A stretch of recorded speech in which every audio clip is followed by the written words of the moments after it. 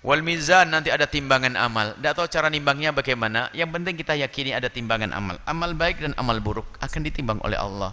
Jika amal baik anda yang lebih menonjol, anda akan di, di, diarahkan, dibawa ke surga. Jika ternyata amal jelek lebih banyak, maka anda akan masuk neraka. Na'udzubillah. Wasirat jembatan siratul mustaqim.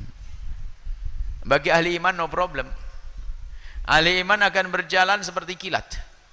Tapi bagi pemaam ahli maksiat maka jembatan itu bisa saja tidak terlihat.